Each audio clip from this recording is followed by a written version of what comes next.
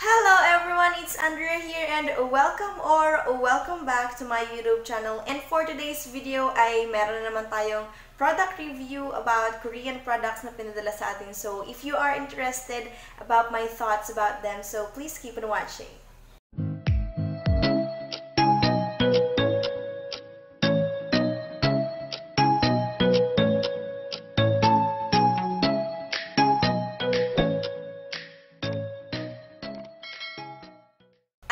Ayan, so before I start, mapapansin nyo na iba. Medyo iba yung boses ko kasi sa labas ako. I mean, sa sala ako ng boarding house namin nag-film. So, ayun, please excuse. Sinasabi ko sa inyo yung product na i-review natin and iti-test natin for today is itong Mustus. Mustus ang brand niya. And meron ako, pinadalahan ako ng Caris. Thank you so much, Caris Fam.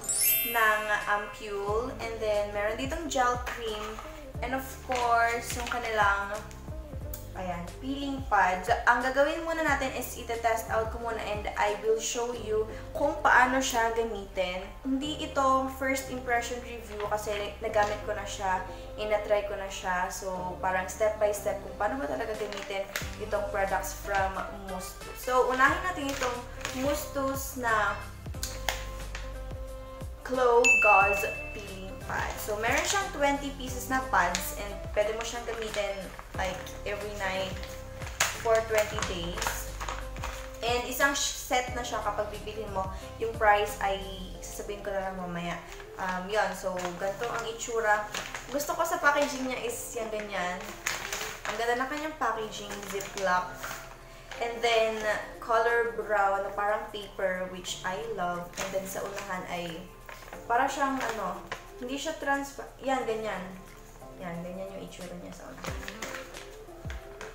And meron ditong nakalagay na Be a Skin Vegetarian. Ito yung itsura ng um, peeling pad. This is my first time then nagagamit. I mean, first time kong gumamit ng mga peeling pads kasi never pa ako nakagamit ito. Ever. So, ganyan yung itsura niya, color green. And then, sa likod, Korean yung kanyang language. Pero meron naman ding English. Ang claims niya is, eliminates old keratin and impurities with mild peeling PHA while smoothing out skin texture with parsley extract containing chlorophyll. So, sa mga hindi alam sa chlorophyll, ang chlorophyll po ay galing sa plants. And basically, meron siyang parsley, which is also a plant, yung kinakain, which is also a plant na kinakain natin if you're not familiar with parsley. So, meron daw siya sa loob. So, buksan na natin. Ang pagbubukas ay madali lang siyang buksan. And then, sa loob ay makikita nyo yung pad. Um, meron siyang liquid sa loob. So, dahan-dahan kayo kasi baka masayang, baka matapon. Kapag kinuha mo yung pad, tumutulo. Ganyan. Sa isang side ay yung smooth texture and then ah, ito pala yung ano, texturized, parang gauze yung pinalalagay natin kapag kami sugat.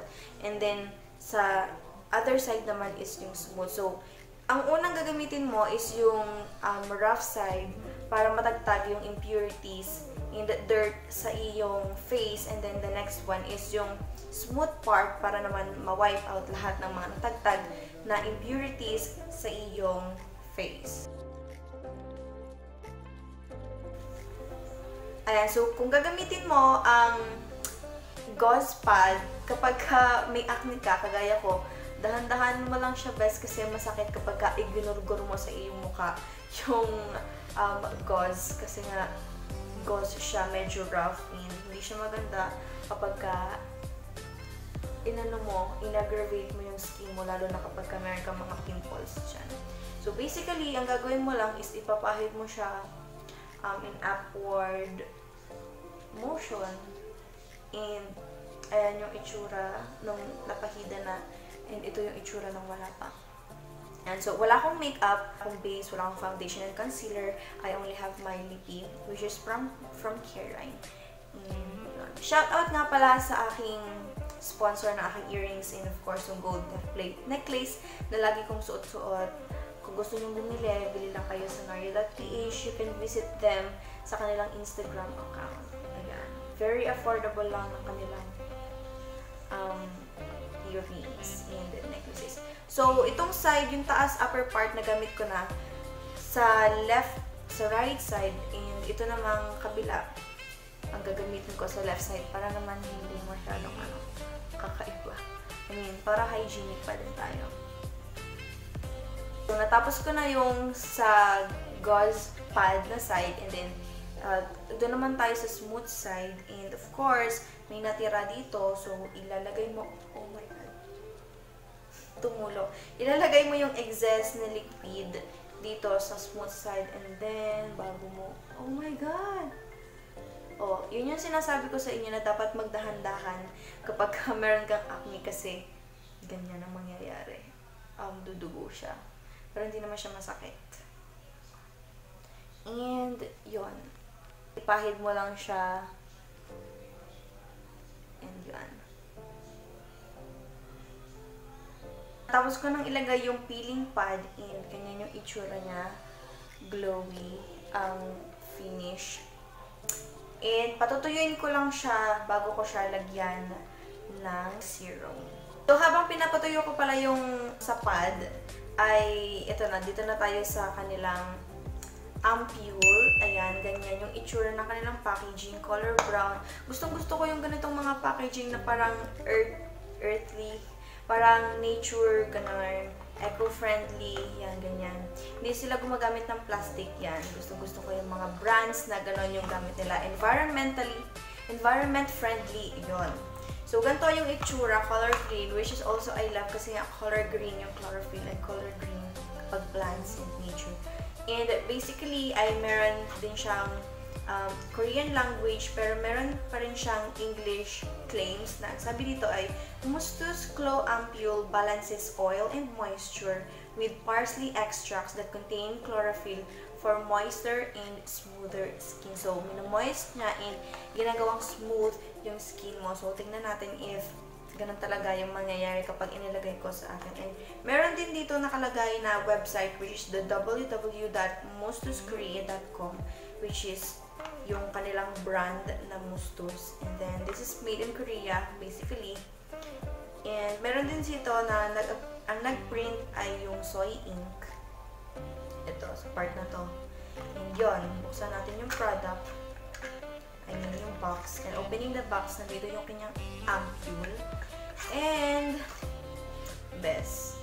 Ganyan ang itsura ng ampule. Sobrang ganda. Color green yung kanyang laman and yung kanyang bottle ay hindi siya babasagin eh. Ganyan na frosty. And then sa likod, yan, ganyan. Okay, so itry na natin. Medyo tuyo na naman yung aking face. So, kapag ka nilagay ko yung peeling pad, medyo mainit siya, pero hindi naman yung sobra. May mainit factor, pero hindi naman siya yung nakakasakit. Okay, so yan. Kukuha lang tayo ng And yung kanya palang serum is ganyan. Um, naka-drops yung parang sa baby. Yan, kukunin mo lang siya dito. And then, ilalagay mo sa iyong face.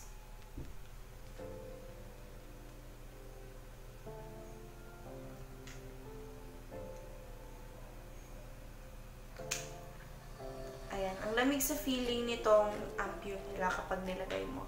And then start spreading it all over your face. And so, habang inilalagay ko yung ampule, bes, ang ganda niya. Mas nag-glow yung aking face and indeed, nakaka-smooth. Nakaka-smooth. Ang sarap niyang, ang sarap, ang sarap niyang ilagay sa face kasi ang lambot. And, napaka-refreshing. Ang lakas maka-fresh. So, itong ampule na ito ay merong laman na 30 ml. And yung consistency nga pala niya kung itatanong mo ay ganito. Yan. Ganyan. Um, nag-flow naman siya. Pero hindi ganong bumababa. And kapag ilalagay mo sa iyong skin, ayan, kita niya yung glow versus dito. Sobrang, sobrang nakaka-refresh niya sa skin. Ayan. Amazing. Okay, so final step para sa 3-step Korean skincare na ito is ito namang Glow Gel Cream. Ayan, so ganito din yung packaging niya. And ang claim naman niya is Musto Glow Gel Cream balances oil and moisture with parsley extract containing chlorophyll while hydrating for moisture for moisture and healthier skin. So parang parehas lang sila ng claim nito pero ito, may kasamang word na healthier. So, yon Buksan na natin ang kanyang sa box. And, ito yung itsura ng kanyang cream. Then, sa likod. And, ganyan yung itsura ng cream. And, yung consistency niya is ganito. Yan hindi siya bumababa. I mean, hindi siya na-flow. And kapag ilalagay mo sa skin mo, sobrang hydrating. Kita niyo naman, di ba? Ayan, ganyan.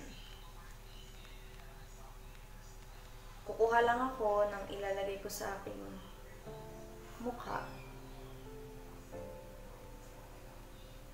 Ito, ito kasi parang hindi medyo hygienic kasi idudutot mo pa yung iyong um, kamay. Although, meron naman siyang spatula. So, make sure na yung kamay mo is palaging malinis para hindi nadudumihan yung mismong cream. And yung kanya palang packaging is color white yung takip. And then ito, frosted din. Frosted, frosty. Ganun. And, ayan, kita niyo ba yung glow? Yan, pansin niyo na acne ko. I'm living with them. Someday, mawawala din yan. Kapag nakapaghanap ako ng right skincare or right products for my skin.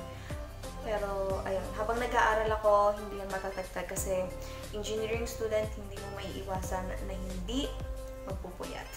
So, as, as much as possible, healthy lifestyle and always, always hydrate yourself with water. Kasi pag sisisihan mo rin yan pagtanda mo, kapag hindi ka, hindi mo inalagaan ng ayos ang iyong katawan, yun, ikaw din yung masisisi. I mean, alam niyo na yun. Ayan, so ganyan yung itsura ng cream. Sobrang ganda ng cream kasi, oh, pa, sobrang glowing and sobrang lambot niya, bes. So, ito na yung ating look after using these products and kitang-kita nyo naman ang Korean Glow. Ayan. Kung naghahanap ka ng skincare na uh, mabilis lang, kung tinatamad ka, gusto mo um, instead of 10-step skincare, pwedeng-pwede to na 3-step skincare lang and ayan yung itsura. Diba? Ang ganda. And sobrang marirecommend ko sila, sila sa inyo kasi yun. Mabibili nyo pala to sa aking Caris shop. Ilalagay ko na lang yung link ng product na to sa baba. And make sure na bumili kayo mga best kasi ito ang buhay na patunay na instant glass skin pa din ang kalalabasan. And overall, I am so satisfied with this product. Thank you so much, Caris, for sending me these products. And I am very, very amazed and impressed. And Maganda din sa kanila is organic, wala silang ginagamit na chemical. And ang alam ko is pwede siya sa lahat ng skin type which is very, very amazing. wala na akong masabing ibang adverb. Ayun, so all in all, sobrang maganda ang product and if I'm gonna rate it, magbibigay ako ng 5 over 5 kasi packaging wise, ang ganda ng everything and lahat-lahat. So, that's it for our video for today. Sana ay may natutunan kayo and best, huwag na huwag mo kakalimutan na bumili ng Glow products from Mustus. And yan, thank you so much for watching this video. I hope you enjoyed it and sana may natutunan ka. And if you haven't subscribed to my channel yet, please do by clicking the subscribe button down below. And then next to it is the bell button. I-click mo na rin yan best para updated ka sa lahat ng mga videos na i-upload ko. And I will see you in the next one.